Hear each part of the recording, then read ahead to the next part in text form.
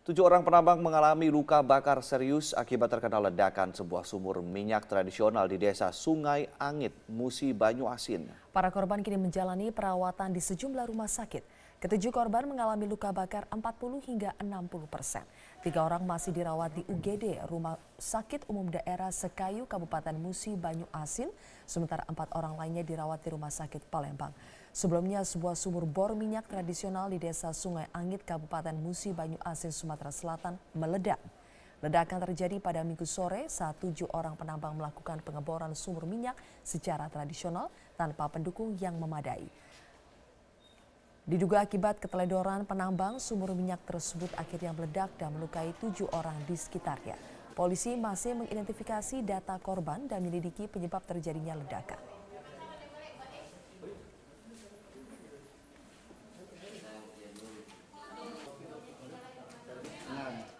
Ya, kalau macet dan banjir tampaknya memang menjadi masalah ya. yang selalu dibicarakan warga Jakarta ya dan selalu menjadi tamu tahunan juga nih ya, ya kan. Nah, kalau kita berbicara mengenai macet Mas uh, Yoga, ini ya. kan macet juga beberapa uh, dari calon cagup dan cawagup ya. ini menjadi salah satu isu yang juga menarik. Ya.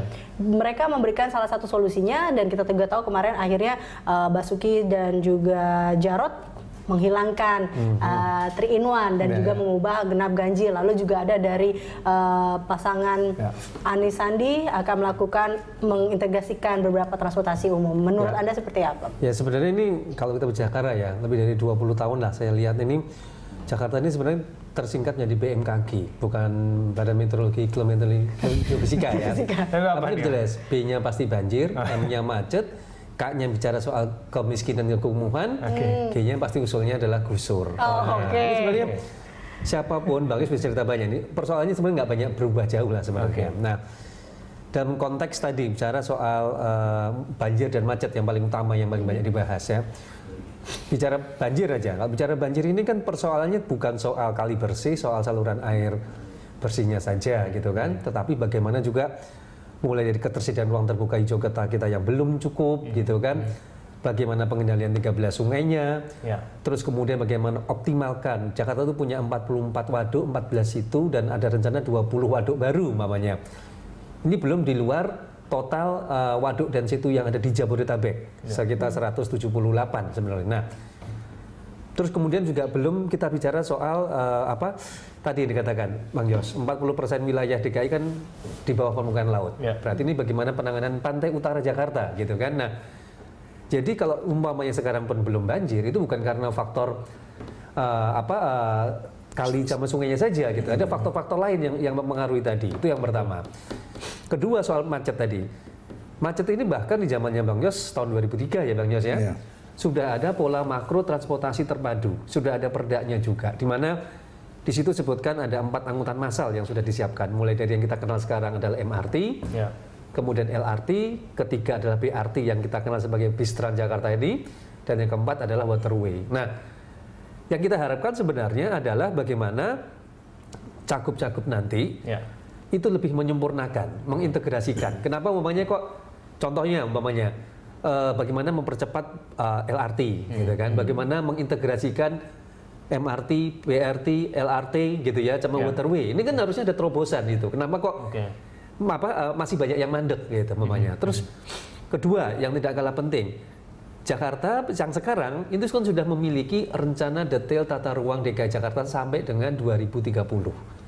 Jadi sudah ada rencana detail semuanya. Hmm. Ya. Siapa pun gubernurnya wajib melaksanakan Perda Nomor 1 tahun 2014 tersebut. Hmm. Nah, tantangannya adalah bagaimana percepatan perwujudannya tadi itu dengan cara-cara yang lebih kreatif, inovatif, Baik. bahkan harusnya umpamanya siapa pun gubernurnya tidak boleh melanggar apa yang ada tertera di dalam rencana detail tata ruang. Nah, okay. itu hmm. yang harusnya diinformasikan kepada masyarakat. Contoh paling mudah soal Baik. sungai yang selama ini jadi perdebatan. Ya aturannya mamanya sungai kita ini kan lebarnya tinggal 20 sampai dengan 30 meteran hmm. sehingga kalau kita kembalikan ataupun untuk mempermudah penyerapan air dan memperlancar sungai harus dilebarkan mamanya. Hmm. Nah, lebar dan kemudian penataannya sendiri itu kan harus ramah lingkungan mamanya. Ya. Nah, taruhlah kalau lebarnya tadi dari 20 30 ke jadi 50. Otomatis kan kiri kanannya akan ditata ulang gitu ya. kan. Nah, yang paling penting di rencana dana tata ruang itu sudah disebutkan bagaimana memperlebar, me mengarahkan gitu. Jadi hmm. tidak bisa serta merta umpamanya bangunan akan tetap dibangun di tepi bandaran kali. Kalau itu dilakukan, okay. maka yang terjadi adalah pelanggaran. Nah, Baik hal-hal ini yang menurut saya nanti harus dijelaskan Baik. sehingga visi misi programnya lebih realistis. Baik, Bang Yos tadi sempat bilang bahwa kedua pasangan uh, yang maju dalam putaran kedua ini harus realistis gitu, tidak idealis begitu tadi Bang Yos. Iya. Ini kemudian nanti yang realistis itu, itu sebetulnya mengenal secara utuh Jakarta. Nah itu, itu program-program seperti apa yang menurut Bang Yos itu sebetulnya paling realistis betul yang yang untuk ya, Jadi seperti banjir tadi saya tambahin ya. ya. ya. E, kan ada tiga jenis banjir ya banjir lokal gitu. Hujan di Jakarta saja pasti banjir. Kenapa?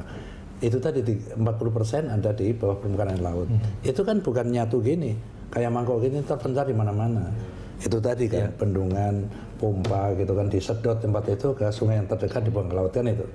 Nah, rob sekarang di atas ini sudah ada konsepnya yang membuat membangun giant wall itu kayak di Belanda tidak ada cara lain karena ini juga pakar yang yang apa yang merencanakan gitu kan. Nah, tetapi yang paling berat dari banjir itu mengendalikan 13 sungai itu. Karena ini hukum alam kan. Hmm. Sungai itu kan dari atas nyari laut lewat Jakarta kan. Hmm. Nggak bisa kita cegah. 13 sungai tidak tahu. Ini, ini yang paling berat nih Bang. Ini ya? paling berat. Okay. Jadi jangan mengira sungai bersih, kurung-kurung bersih, semua drainase, semua resapan di mana-mana. Terus nggak banjir omong kosong. Pada saat curah hujan tinggi di selatan sana ini berduyun-duyun air di bawah sama 13 sungai tenggelam juga kita. Hmm. Karena itu konsepnya juga sudah ada membangun situ-situ raksasa di daerah selatan. Untuk apa? Untuk membelokkan sungai ini sebelum masuk Jakarta belokkan ke situ. Nah, yang masuk Jakarta diatur dengan pintu air. Pada saat musim hujan dia menjadi kantong air, simpanan air. Pada masa kemarau menjadi tabungan air hmm. untuk air jernih, air baku untuk rekreasi, untuk sport hmm. gitu. Tetapi ini kan daerah lain, tidak akan bisa terjangkau oleh Gubernur DKI. Itu sebabnya saya wacanakan megapolitan. Okay. Kan dengan megapolitan ada atasannya di sini kan. Hmm. Orang ini kan dipaksa tengahnya hmm. gitu kan. Hmm. Kalau sekarang kan ekosentris yang yeah. yang main kan. Hmm. Ngapain gua mesti bikin anu waktu rapat ya mohon Pak Gubernur mohon gitu kan Pak Wali Kota Mon Bupati di sana kan. Pada saat pulang udah kita kasih bantuan juga ngapain bukan banjir juga enggak seperti itu kan gitu kan. Itu terus berjalan terus koordinasi itu bukan mudah ya, okay. pelaksananya. Nah kalau ada megapolitan ada pengadaan di pusat ini kan juga tanah ini akan dibeli oleh pusat. Hmm. kan gitu. Jadi pusat itu kan menggunakan Jakarta sebagai kota negara. Selama ini gratisan aja nggak bayar apa-apa, okay. nggak ada partisipasinya. Yeah. Wajar aja kalau dia yeah. membangun kan PU hmm. uh, membiarkan sana membangun. Jadi gitu. selama ini pasangan nomor 2 dan juga tiga ini belum membahas detail mengenai itu. Belum, aku kan inginnya diuji sejauh mana iya. pengetahuannya yeah. yeah. okay. uh, Jakarta secara historis, secara geografis, demografis, kondisi sosial. Mm-hmm. Kita belum sampai sampah-sampah itu mau-mau juga. Itu, hmm. itu wah produksinya luar biasa makin waktu terus meningkat kan? Mhm. makanya konsepnya dulu saya adalah satu di Bekasi Bantar Gebang. Mhm. Bekasi membuang ke situ gratis ya. Kita yang beli tanahnya ya. kita yang cari investornya kan? Jakarta Utara ke situ. Mhm. satu lagi di di Bojong sana itu di daerah Bo, Bo, Bogor kan? Bogor. Bogor membuang situ Jakarta Timur membuang situ. Satu lagi di Depok satu lagi di Tangerang. Seperti itu di Tangerang kita sudah punya 100 lebih hektar. Rencana saya separuhnya untuk untuk apa pengolahan sampah secara teknologi tinggi jadi listrik dekompos ya. separuhnya untuk penjara tadinya begitu karena okay. aku inspeksi penjara-penjara orang pada bergelantungan di pohon itu karena nggak ya. dapat tempat itu pakai sarung gelantungan nggak tak pikir siapa mau bunuh dirinya waktu itu itu untuk tidur bang Hmm. Yang di luar penjara itu yang di anunya kan kalau di luar tembok itu kan ya. terus ada anu sedikit ya. Hmm. Ada, itu pun tidak bisa begini mereka Baik. begini miring begini. Hmm. Kan ini nah. anak Jakarta juga tadi karena itu kan kalau penjara di sana nanti kan ibu saya jadi kerja di sini juga dia gitu loh. Mesin sampah. Gitu, kan. Tadinya okay. seperti itu konsep saya itu. okay. gitu. Jadi Uh, itulah masalah-masalah yang berat yang harus dihadapi. Baik. Dia harus tahu betul kan dari aspek geografis, demografis, kondisi sosialnya, mm-hmm. bagaimana menanganinya ini perbedaan antar kaya si miskin, mm-hmm. uh, apartemen mewah ini kumuh kan gitu. Mm-hmm. Profesor juga banyak sekali di sini, tapi orang bodoh juga banyak sekali. Baik. Itu seni memimpinnya lalu tidak tidak mudah. Baik, kan? Pak tapi kalau mengenai normalisasi kali tadi itu ya, mm-hmm. kan kalau kita cermati nomor urut 2 dan juga tiga ini tampaknya sudah ada uh, pemisahan begitu. Uh, kalau kita cermati mengenai masalah penggusuran, kalau dari sus, uh, dari sisi dari Pak Ahok begitu pasti akan digusur nih yang tinggal-tinggal. Hmm. Tapi kemudian kalau dari Pak Anies kan lebih berpikir bahwa ini orang yang tinggal di sekitar sungai itu. Nah ini bedanya mungkin... Ahok berpikir yang realistis namanya. Oh, Oke. Okay. Kan gitu. Karena dia sekarang ada lagi menjabat kan dia tahu persis bahwa hmm. ada undang-undangnya sungai itu nggak boleh ada bangunan apa pun di situ apa hmm. rumah apung atau apa pun nggak hmm. boleh 50 meter kiri kanannya badan sungai pun tidak boleh dibangun. Okay. Nah lalu sebelahnya sini ya kalau ada tanah kalau okay. tidak, okay. Okay. makanya mau tidak mau. Hmm. Tetapi bahasa penggusuran itu saya dari dulu saya saya tidak setuju itu yeah. kan. Hmm. Kalau saya selalu menggunakan kata penertiban, gitu kan. Penertiban. Oke. Okay. Okay. Baik. Iya, ini kalau terkait dengan penggusuran juga, kalau dari Mas Yoga sendiri melihatnya seperti apa untuk ini? Ya, salah satu PR kita sebenarnya kurangnya sosialisasi hmm. rencana tata ruang sebenarnya. Hmm. Jadi selama kita melihat pendampingan ya, banyak warga yang belum paham bahwanya hmm. bahwa mereka tinggal di lokasi yang di dalam rencana tata ruang itu hmm. bukan untuk hunian. Nah, okay. kita tahu banyak sekali hunian-hunian itu tidak hanya di bantaran kali kan, di rel kereta api, di kolong jembatan hmm. gitu ya, dan bisa dipastikan sebagian besar berada di daerah-daerah yang merupakan ruang terbuka hijau. Hmm. Nah, sosialisasi inilah yang kemudian yang perlu dilakukan kepada masyarakat untuk mengedukasi bahwa Anda tinggal di daerah yang dalam peruntukannya tidak sesuai. Nah, Baik. sehingga rencana pembangunan tadi memang benar-benar diketahui oleh warga sehingga hmm. yang kita harapkan mereka dalam tanda petik adalah berpindah secara sukarela hmm. gitu. Dan, dan yang paling penting tempat baru itu harus lebih baik, lebih baik, baik, lebih baik dari yang lebih manusiawi, lebih menjamin keluarganya itu hidup sehat. Ya. Itu, Tapi kalau kita cermati berdasarkan kasus dari Bukit Duri misalnya Mas ya. Yoga itu kan eh, dimenangkan juga oleh PT UN.